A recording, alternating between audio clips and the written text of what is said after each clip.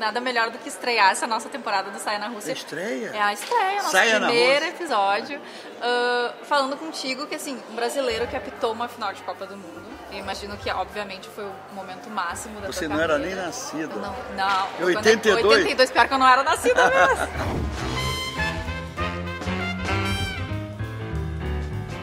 Eu quero saber do dia em que tu recebeu a notícia. Quando te ligaram, como é que foi? Assim, onde é que tu lembra onde é que tu tava? Que, qual foi tua reação? Olha, Arnaldo, tu que vai apitar a final. Em 82, o Brasil tinha a melhor seleção do mundo. Era Falcão, Sócrates, Zico, Éder, Júnior, é, enfim. E perdeu da Itália, aí foi desclassificada. Quando um país é desclassificado, o árbitro que representa o país tem chance de apitar. Mas eu tinha apitado um jogo, Inglaterra e Alemanha, tinha ido bem. E aí, olha, fica aí que você tem chance. Aí eu voltei a treinar e aí, de repente, na quinta-feira eu estou no quarto do hotel, me liga o secretário. Ele falou assim, olha, você foi indicado para apitar final. Poxa, aí a ficha caiu, era um sonho, eu estava realizando. Um garoto de praia, de Copacabana, que com 16 anos começou a apitar futebol. E aí fui apitar uma final de Copa do Mundo. Quem, quem foi a primeira pessoa que tu ligou? É, pra avisar, pra contar. Não, primeiro eu liguei lá para casa para avisar a minha mulher para ela não ir para a Espanha, porque a regra é clara, a regra é clara, não pode, parente de, eh, de árbitro não pode viajar. E ela ia na sexta-feira para assistir a final do Brasil no domingo. Aí como o Brasil ficou fora, eu falei para ela, olha, não vem mais, porque o Brasil está fora e eu tenho chance de apitar um jogo, não sei qual é. Até chegar esse momento, tu deve ter passado por muita coisa difícil como árbitro. Teve um momento em que tu pensou em desistir? Não, eu tive piores momentos na praia, quando queriam me bater depois dos jogos. Tudo que acontece, o culpado sou eu. É, tive momentos difíceis em Copa Libertadores, é, quando a torcida fica revoltada, você tem que ficar no vestiário até de madrugada. É muito complicado isso. Os jogos eram dificílimos e você acabava o jogo, o time da casa perdia, você tem que ficar no vestiário até a torcida ir embora. Foi mais xingado quando tu era juiz ou agora que tu é comentarista? Engraçado que tem momentos que, como comentarista, as pessoas querem é, que eu fale o que lhe convém. E eu falei, poxa, eu tenho que falar o que é. Se for pênalti, eu falo que foi pênalti. Se não foi falta, eu falo que não foi falta. E A tem, regra é clara, né? é, e tem torcedores que perguntam, pode isso, Arnaldo? Eu digo, ah, pode. E eu tenho que explicar tudo direitinho, mas é complicado também. Acaba o jogo, é muito estresse, eu tenho que prestar atenção no jogo. Seria melhor ter ido ver o Pelé. A gente pensa que ficar sentado vendo o jogo e olhando o, o- o replay da jogada é difícil. Tu pensa nisso, assim? Penso. Tem um limite, quando é, que, quando é que eu vou parar de comentar? Estou pensando seriamente em parar nessa Copa.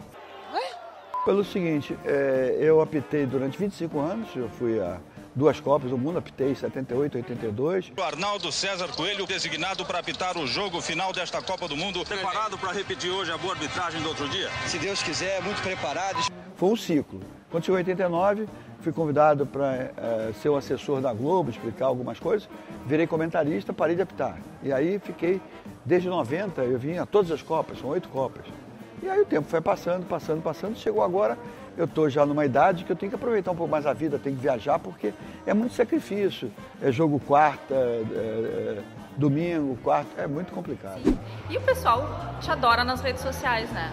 Tu já, já, já tem o personagem Arnaldo nas redes sociais. É, eu pode isso, a regra é clara, eu escrevo algumas coisas, eles brincam comigo, mas. Não, tem esse episódio aqui que eu até trouxe impresso, Hum. que é do comendo um japonês, né? Já, Isso. já estou no hotel comendo um japonês. Essa É, aqui tem o que falar, é. o pessoal implicou Tô comendo contigo, japonês para depois dormir. É, é, é, é, é que eu tava dizendo que eu tava comendo a comida japonesa. Né? Primeira delas. Galvão Bueno em cima do banquinho. Pode ou não pode isso? Poder pode, pelo seguinte. Você É não que, tá enganando a torcida aqui? não, não, é porque é problema de enquadramento. O Ronaldo e o Casagrande têm 1,92m e o Galvão tem 1,78m, 77 Então ele ficava muito baixinho no meio dos dois. Aí inventaram o banquinho, botaram o banquinho. Tem algum outro segredo, tipo o banquinho que o Galvão esconde da, da torcida? O Galvão, antes dos jogos, ele fica fazendo vários aquecimentos que a Fono pediu para ele fazer. E um deles é uma garrafa de água, aquelas PET, com um canudinho, ele fica soprando para umedecer as cordas vocais. Jogador só de cueca comemorando. Pode ou não pode? Pode, já tinha acabado o jogo, você vê como é a comemoração, a regra é clara, a sunga tem que ser da mesma cor do short, o outro tem short branco, ele está de sunga branca. Então ele está dentro da regra. Tá Claro que se ele fizer isso durante o jogo, não pode, vai tomar um cartão. Chamar o Hugo em campo. Sabe o que é chamar o Hugo? Como é que é? Vomitar campo. Ah, não, não Pode? pode. Mas nem se Não, for o Messi? não, já aconteceu isso com o Messi, já aconteceu com os jogadores, mas não é muito, é muito feio. Mas o Ronaldo já fez xixi no meio do campo, no jogo da Olimpíada. que o juiz faz uma hora? Não, era no intervalo, ele voltou do intervalo, fizeram uma paredinha, ele virou e a câmera mostrou. Grupo de família no WhatsApp, pode ou não pode? Não, eu acho que não é legal, eu acho que é uma coisa muito íntima, é uma, é uma, é uma coisa muito particular. Eu acho que eh, isso aí fica para outro grupo bem fechado, entendeu? Eu acho que a vida particular não tem que ser muito exposta, não. Não precisa ter grupo com primo, tio, Não, tem gente que gosta, tem gente que adora, mas eu acho isso, não acho legal. E por último, e mais importante, Mick Jagger no jogo do Brasil. Pode ou não pode? É, dizem que ele é pé frio. Toda vez que ele bota a camisa de uma seleção, não dá sorte. Por falar em sorte, você sabe que na Copa de 2002 eu usei uma meia bege enganado. Era meia azul, mas eu na hora peguei uma meia bege e botei e o Falcão, que gosta de ro- roupa, falou assim, olha, olha a meia do Arnaldo, não tem nada a ver com o uniforme.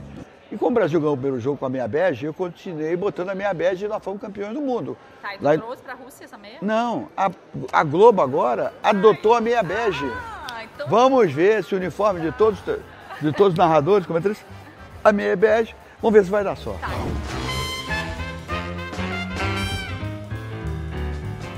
E se for a última Copa, tomara que seja com o título do Brasil, né? Exatamente. Comentando um título do Brasil. Um abraço para todos vocês.